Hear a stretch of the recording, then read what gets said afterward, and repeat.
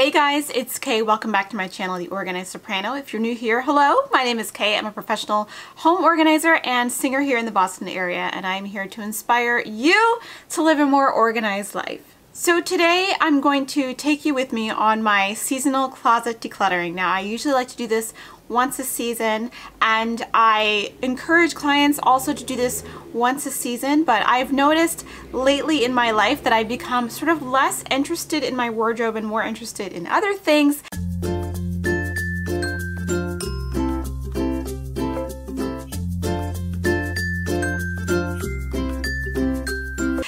So um, it's time for me to consider really paring down um, on the items in this closet. And this can be a really emotional experience for a lot of people because clothes, especially since they're really close to our bodies and you know we touch them and they're just sort of almost an extension of us, can be really triggering a lot of memories for us. We can feel really sentimentally attached to pieces, even though we're not wearing them. I'll give you some tips to make it a little easier, and uh, hopefully we'll have some fun today and we're gonna pare this down. Potentially, I'd like to make this a little smaller and not so overwhelming. So the first thing I'm gonna do is set up some bins so that I have some places and categories to put items. And helping today is Mr. Clover. So I have my three categories set up. I have recycle here in this uh, shopping bag and I've got sell here and this is the smallest container because selling, if you want to sell clothes, it takes a lot of time and effort. So uh, just only do that if you feel like it's worth it. Um, you probably won't get your return on investment on clothing.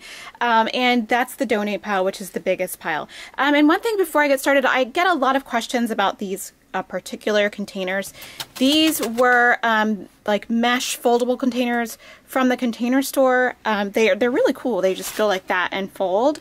Um, but however, Container Store has discontinued these particular containers. I'll try to find something similar and link it in the comments below uh, or the description so that you guys can um, find similar ones, but um, sadly you can't get them anymore, so I'm sorry about that. Um, in the past, I would recommend if a clothing was unwearable, it was, you know, stained beyond repair, that those go ahead and go in the trash. But I do believe that there is textile recycling. I'll put some resources down in the description below so that you can find an area to recycle textile around where you live so that you can make a little bit less of an impact on the amount of trash we are just acquiring and uh, contributing to. So textile recycling is something I'm going to do for the first time this year, which I'm really excited about. So hopefully my clothes will go from clothing to cleaning rags or something like that. So I've turned on the light in here. Hopefully you can see a little better. The first thing I'm going to do is go through what I'm going to think is the easiest, um, what I'm the least emotionally attached to, and that's what I usually recommend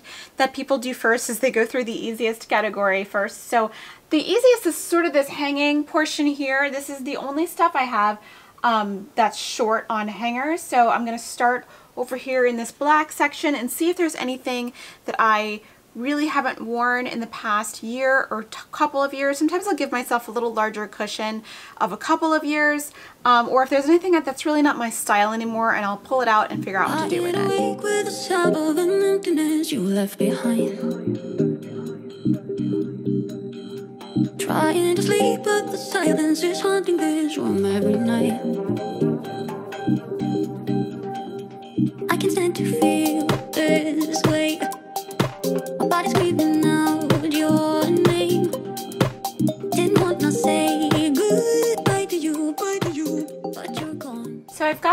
Some pieces and after I do um, a first pass, I like to go by and do a second pass and see if there's anything I really had second thoughts about. And I think I've done a pretty good job eliminating some pieces here. Uh, I have worn a lot of this stuff or most, uh, pretty much all of this stuff in the past year, especially I've really been into like blouses and things um, in the past couple of years. So all of this stuff is perfectly good and can stay.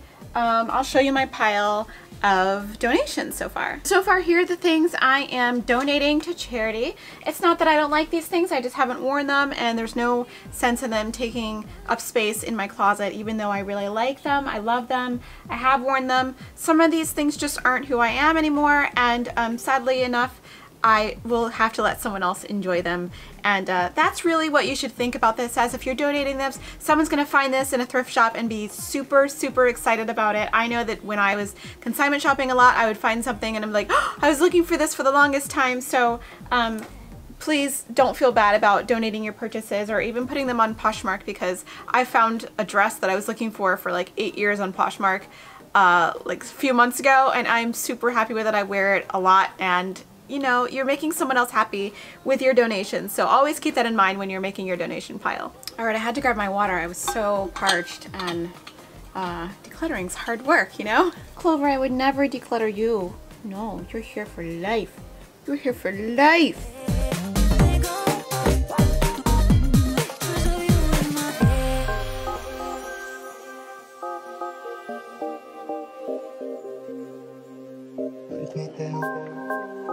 I've been holding on to this pair of pajamas for years now and I haven't actually worn them in a long time because I like to carry my phone around with me and these have no pockets. so that's just the way that my life is and it never ever ever gets this cold in here to where I'm going to need this much protection. So, so I'm gonna pass these on to somebody who maybe is cold at night and needs some protection. I don't. They're really cute. They're like they have sheep on them, white sheep and black sheep. They're just darling, but um, I have not worn them, so sadly they're gonna have to go. Bye! One of the hardest things to do when you're doing this is to be realistic about what you are and aren't doing or wearing. Uh, sometimes there's a fantasy self that you like to pretend that you are, but that's not really you. So you want to make sure that you're decluttering and keeping the things that are actually you right now. Some of this stuff is me from 10 years ago or me from even five years ago. And your life and you are a dynamic being. You change, you have moods, you go through periods. And um, so you're outside, the way that you dress yourself, your icing, which I like to call this self, should reflect that. So don't be afraid to shed some of the things that were representative of you before and keep the things that are representative of you right now. So speaking of that, I'm going to do something really difficult and that is declutter some of my dress collection. Now I have been collecting these dresses for a number of years. I was an Anthropologie freak. I would shop in there every other week and go crazy in sales um, and I wore them a lot. Like when I worked, I was working in a container store and I just wore jeans and t-shirt at work and when I wasn't at work, I was like, I'm wearing a dress. And I don't do that anymore because I have a different life now. I have a different lifestyle. So I do wear dresses some of the time. I really like them, but not nearly as much as I used to. And I need to cut down on the amount of dresses. So we're going to see today if we can get rid of at least 10. That would be good. And uh, if we get rid of 10, then I'm really going to be happy. Let's, oh, let's do it.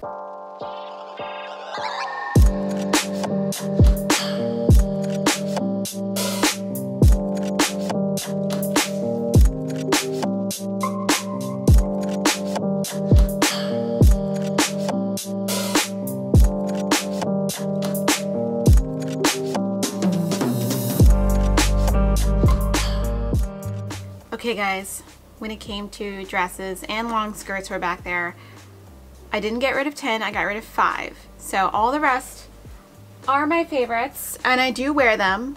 Um, I'll have to circle back in a couple of seasons and see if those are indeed my favorites. I even got rid of some that I did wear, but I just, they just weren't like my favorite favorites. I even have two that are very similar, so I only kept one that was like the most comfortable. So uh, that's with that. And I think I'm going to do a little bag declutter as well. This is painful, you guys. But it has to be done. It has to be done. I've got this bag, this tote bag up here, and it has other bags in it. So we're going to see what the deal is in here. Oh, I'm afraid. All right, so we've got this big tote bag, which I use for traveling. And there's this guy. Oh, wow. I remember this. So I haven't used this bag in a while and I think it might be okay if I let it go but I can tell you with certainty that I used the heck out of this thing. Like, I used it a lot. So I'm checking all the pockets to make sure there's nothing inside before I um, put it in my donate pile. Um, which I'm not, there sometimes is there, there are things in my bag sometimes, but I'm pretty good about emptying my bags before I put them up on the shelf. That's just something that um, I've learned is a good practice because um, you look for things less that way when you just, just when I take tote bags and I put them back on the shelf, I just empty the bag completely, take everything out. So there's nothing left in here and I think that it's time for me to pass this bag on, sadly. I really like this teal, teal guys, it's teal with like a pink in interior. It's such a cute bag, um, but I, I don't remember the last time I used this. I used to use it all the time, but man, all right, well, you're gone. This is the other one I was considering uh, letting go of. This this guy's so pretty. Look at this bag. Uh, it's made by, I think it's made, I think it's like made locally. Uh, uh, My by Michelle and Yvette for the container store. So this was like specially made by that company for TCS. And uh, I, I have not used this in a long time, you guys. Oh wow, there's like a little armband in here for renting which I don't really do. Don't honestly remember the last time I legitimately used this bag for anything. Uh, which is a shame because it's such a nice bag. Oh wow, my gym membership card is on the inside of here. Let's take that out. It's funny because uh, I don't actually use this card anymore. They've just converted to, uh, you can scan your phone there. So it's, it's funny that this is in here. This actually has my um, old married name on it too. So that's that's how you know it's really old. So that's that's how you know I haven't used this bag. So as much as I really like this and I think it's awesome, it, it feels really nice quality too. I think I'm gonna have to say goodbye to it. Oh, bye tote bag. I feel really sad about it, but I, I never use it. Someone else is gonna love this. I'm pretty sure the rest of these in here get regular use. Like there's there's this bag, that's an Eagle Creek bag that gets regular use. This is a really nice bag. I don't know if they make this one anymore, but um, I love this one. This gets used a lot and it's kind of boring, but I use it. And um, this cool, this is a cool bag. This has the T on it. If you're not familiar with um, Boston, this is the public transportation system, the MBTA. And this is the all of the, the lines you can ride in Boston. There's the orange line, green line, red line, purple. Well, the purple line I think is the commuter rail and there's the blue line. So it's, um, it's a pretty cool bag and I really like it. So I'm going to keep it. I have used this bag. It's not like the best bag, but I think it's just really cool and I like it. So I'm to hold on to it. That leaves me with, um, gosh, how many tote bags? This is two shoulder bags, no, three shoulder bags and one backpack. So I think that's more than enough. So I'm to put these guys back in here there is one thing left in here that is um, not really tote bag related. It's just a, uh, it's just, it's a packet for um, packing. It's like a dress bag. So when I do take my dresses on vacation, oh my goodness. When I do take my dresses on vacation, I, I use this. I don't actually know if Eagle Creek makes this anymore. Uh, I get a lot of questions about this. I'll figure it out and I will put it in the description if they do still produce this item. It's really handy. It's, I think it was called like the trifold garment bag or something, but it's pretty handy and I, I like it a lot. It's I've had it for years, so I keep it in here because it's so big. So that is my bag of bags. I also have a bag of purses. I don't know if anything from here is gonna go, but we're just gonna take a look. Clover and I are gonna take a look. Hello? Hello? I, let's see, I, I do still use this bag occasionally, this, this black Kate Spade bag. You know, these, it's not the coolest anymore, but, um, you know, occasionally I still, I still rock that. Uh, this little tiny itty bitty thing of a purse hardly ever gets used, but uh, I'm going to keep it uh, because it's adorable. And I occasionally I do use this when I go out to someplace uh, fancy and I'd like to, it's just, it's really stupid, but I love this little stupid bag. I have two Coach purses in there, so this looks pretty good. There's only four little handbags in there. So I think, I think this is fine. So I'd like to keep them all in this little dust dust container here. Dust container, dust sack, dust cover, dust cover. Is that what this is? I think this is a dust cover. So uh, this is going to go back on my shelf. So in conclusion, here is how we turned out. I have everything in one category. I didn't get rid of anything to go to recycling, so nothing was super damaged or anything like that. And I didn't decide to sell anything because it's to me, it's just not worth it. I do have a couple of things on my Poshmark store. I'll link it down below if you want to like take a look. It's just like size zero dresses from Anthropologie. If you're into that, cool, go check them out. Um, make me an offer. However, uh, this stuff I'm just going to pass on to somebody to a thrift shop and somebody is going to be really happy to have that stuff. Alright guys, so that is my seasonal decluttering a little more painful than some other seasonal declutterings, but I know it is for the good of the world.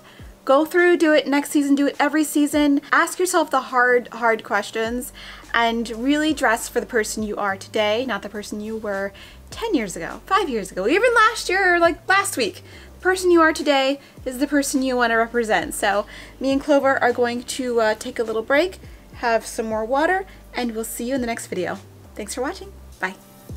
Bye. Clover, what do you think? What do you think, buddy? Do you want somebody to get a deal, Clover? Clover Bean, you're so cute in there. How are you? I'm not gonna donate you, I promise. You're just next to the pile. You're not getting donated at all. I'm keeping you. Keeping you forever. Keeping you forever.